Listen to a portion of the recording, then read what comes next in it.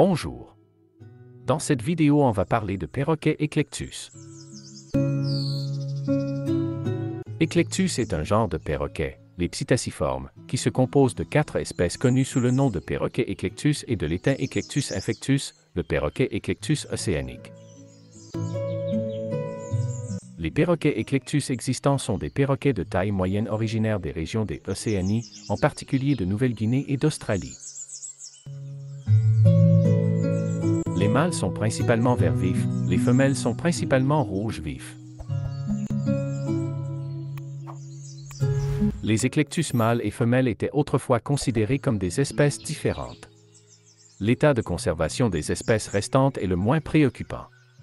Les perroquets éclectus se portent bien en captivité et sont un animal de compagnie très populaire à travers le monde.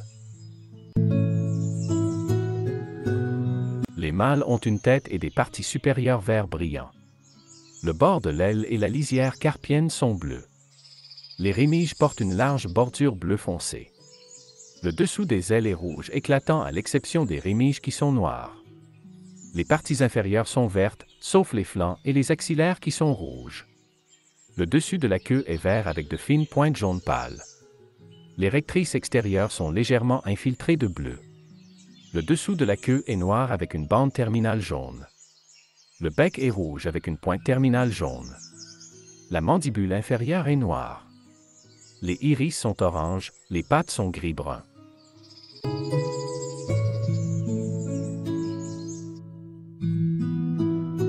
Les femelles sont très différentes de leurs partenaires. Elles ont un plumage rouge éclatant avec un large collier violet qui traverse le haut du manteau. Elles affichent des rémiges bleu-noir. Le dessous de leurs ailes est bleu-violet. Leur poitrine est infiltrée de quelques plumes violacées.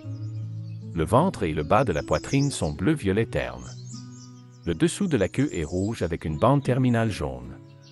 Le bec est noir, les iris jaunes. Dès la première mue, les juvéniles acquièrent leur plumage adulte, mais ils conservent pendant quelque temps encore leur bec brunâtre.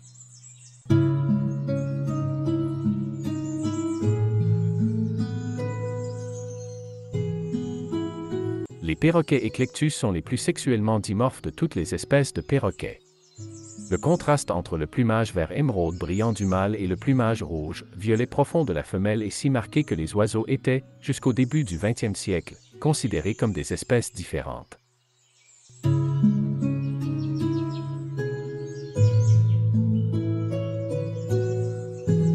Les perroquets Eclectus ont généralement une grosse tête et une queue courte, et sont frappants dans leur coloration.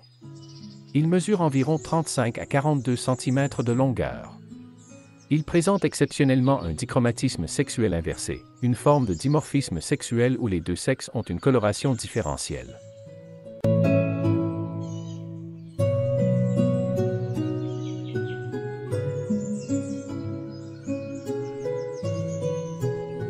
Habituellement, Lorsque les oiseaux présentent un dimorphisme sexuel inversé, cela s'accompagne d'une inversion des rôles sexuels, dans laquelle les mâles qui collectent habituellement de la nourriture sont laissés pour incuber les œufs, tandis que la femelle se nourrit. Il est important de noter que dans l'éclectus, une telle inversion des rôles sexuels ne se produit pas. Le mâle se nourrit encore, tandis que la femelle incube les œufs. La recherche a montré que ce dimorphisme sans inversion des rôles est le produit des rares creux de nid et des pressions sélectives qui l'accompagnent.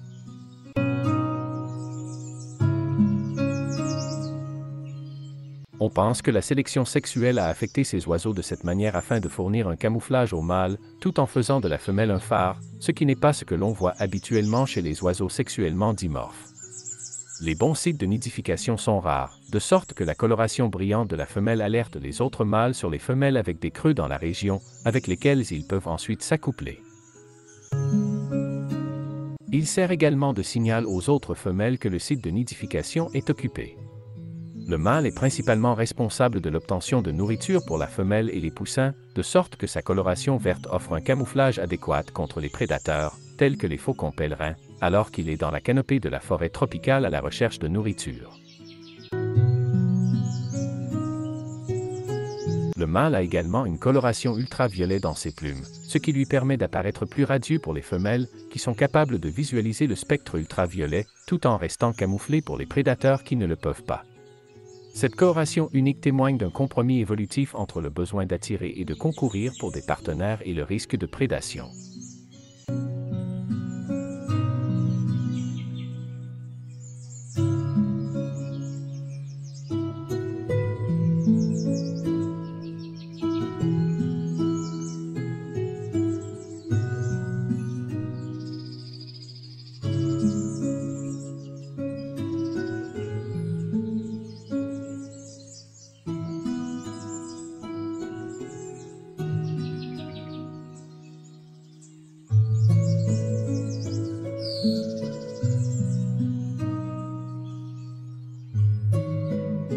Le perroquet Eclectus est endémique des forêts tropicales de la Nouvelle-Guinée aux îles Salomon et à la pointe de la péninsule du Cap York en Australie.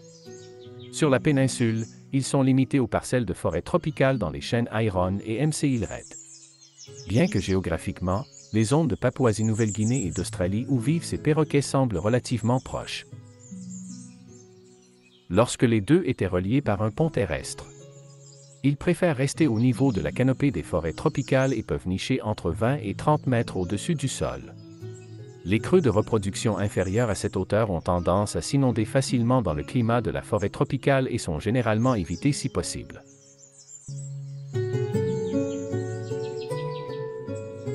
Les grands éclectus vivent dans une grande variété d'habitats, les forêts, les boisements en cours de régénération, les savanes, les mangroves, les plantations de cocotiers et les parcelles d'eucalyptus jusqu'à 1900 mètres d'altitude. On les trouve généralement en plus grande densité dans les forêts de plaine, les régions côtières et à proximité des terres cultivées.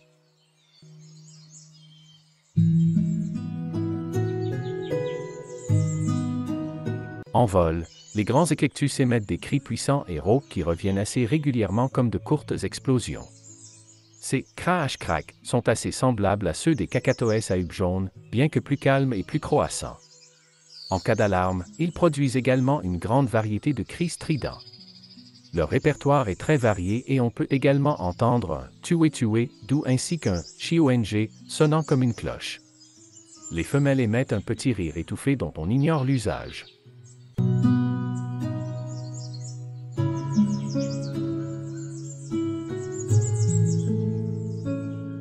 Perroquets Eclectus ont une gamme variée d'appels, allant d'un cri fort et aigu à des sifflets et des cris. On a également observé qu'il émettent un appel semblable à un carillon lorsqu'un mâle revient au nid avec de la nourriture, dans ce qui semble être une démonstration de gratitude ou une reconnaissance de retour.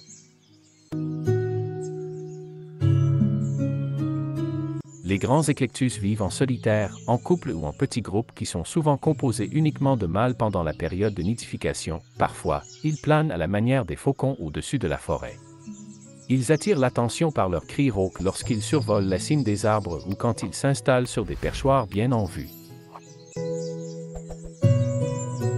Ce sont des oiseaux extrêmement prudents et la plupart du temps, ils restent dans la canopée quand ils recherchent leur nourriture. Occasionnellement, ils fréquentent toutefois les étages inférieurs des arbres et ils viennent même à terre. Les grands éclectus sont surtout actifs à l'aube et au crépuscule. À ces moments de la journée, on peut les apercevoir en grandes bandes bruyantes de plus de 80 individus quittant ou rejoignant leur aire de repos. Les grands éclectus forment des dortoirs communs avec les cacatoès.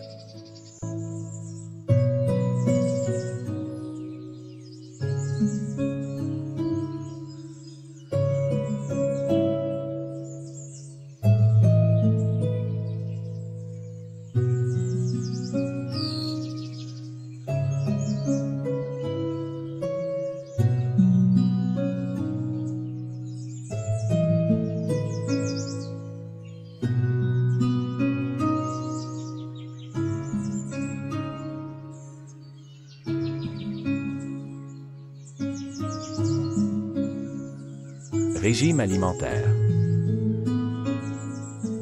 Dans la nature, les perroquets éclectus se nourrissent principalement de divers fruits et de leurs pulpes. Cependant, ils se nourrissent également de graines, de bourgeons de feuilles, de fleurs, de nectar, de figues et de noix.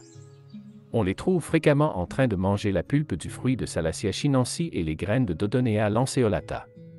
Ces articles ont une valeur nutritionnelle élevée pour les oiseaux.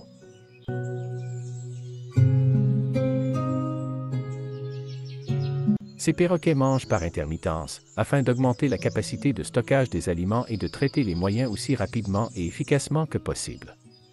Ils ont des adaptations spéciales dans leur système digestif pour les aider avec cela. Leur œsophage est large et flexible, pour permettre le passage rapide des aliments et une digestion rapide, et leur proventricule, région glandulaire entre le jabot et le gésier, est allongé et très extensible, ce qui lui permet de contenir des quantités de nourriture comparables à celles du jabot.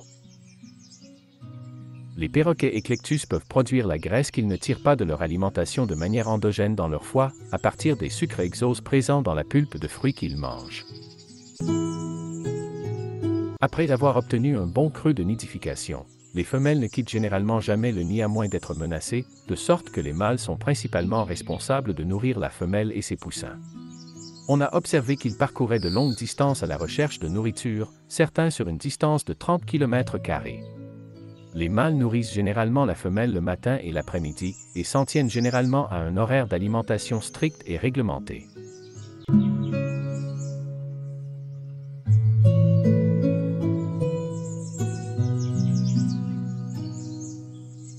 En Nouvelle-Guinée, cet oiseau est considéré comme une véritable peste pour les cultures. Son régime est constitué principalement de végétaux, fruits, graines, touffes de fleurs, bourgeons, noix et nectar. Les grands éclectus apprécient particulièrement les pandanus, les bananiers, le maïs, les figues et les papayes.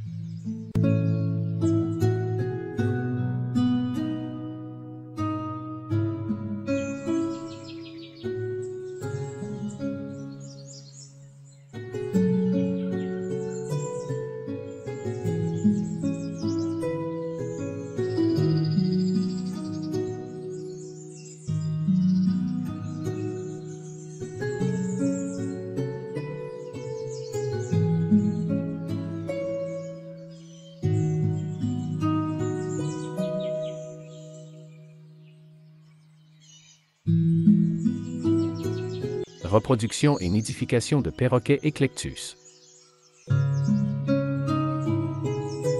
Comme indiqué précédemment, les perroquets éclectus nichent dans des cavités creuses à 20 à 30 mètres au-dessus du sol. Les creux de nidification optimaux sont relativement rares dans l'habitat de l'éclectus et peuvent être très difficiles à trouver. En tant que tels, les femelles ont tendance à monopoliser les bons creux de nidification une fois trouvés, y restant jusqu'à 11 mois par an et retournant parfois au même nid pendant plusieurs années. Les femelles sont connues pour combattre d'autres femelles, parfois jusqu'à la mort, pour défendre leur cavité de nidification. Les mâles sont connus pour parcourir des distances inhabituellement grandes pour s'accoupler avec des femelles, la plus longue étant de 7,2 km. Les perroquets éclectus sont inhabituels parmi les perroquets car ils présentent à la fois un accouplement polyandre, les femelles s'accouplent avec plusieurs mâles, et un accouplement polygynandre, les mâles s'accouplent avec plusieurs femelles et les femelles s'accouplent avec plusieurs mâles. Encore plus inhabituel. Ces oiseaux présentent une forme de polyandrie connue sous le nom de polyandrie coopérative, dans laquelle plusieurs mâles se reproduisent avec une seule femelle, et tous les mâles travaillent ensemble pour aider la femelle à élever les poussins, plutôt que de rivaliser avec l'un l'autre. Ils sont le seul perroquet connu pour faire cela.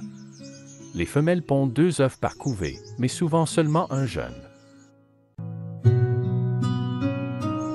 Les éclectus sont également inhabituels en ce sens qu'ils peuvent biaiser le sexe de leur progéniture, de sorte qu'ils peuvent manipuler si leur progéniture est un homme ou une femme on pense que ce comportement se produit en raison de la rareté de leur creux de nidification. En tant que tel, les femelles n'auront une progéniture mâle que lorsque les ressources sont abondantes, un bon creux de nidification est sécurisé et de nombreux mâles sont là pour la nourrir, elle et sa progéniture, car la progéniture mâle est plus coûteuse énergétiquement à élever par rapport aux femelles.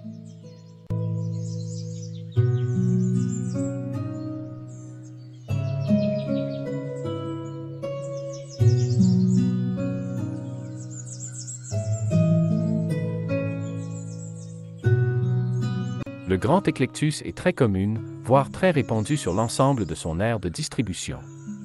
La population mondiale globale est estimée à plus de 300 000 individus. C'est une espèce très appréciée par les amateurs d'oiseaux de compagnie.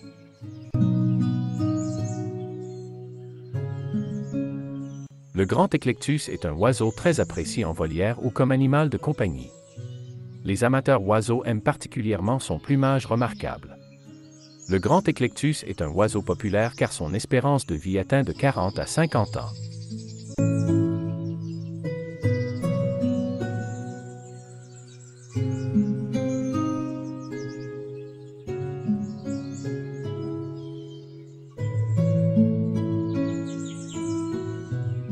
Merci d'avoir vu cette vidéo, à bientôt.